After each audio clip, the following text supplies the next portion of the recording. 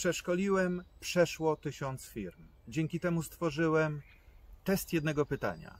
Jeżeli chcesz wiedzieć, na co choruje Twoja firma, jak zwiększyć zyski, Intelligent Question odpowie na te pytania. Sprawdź, wypróbuj.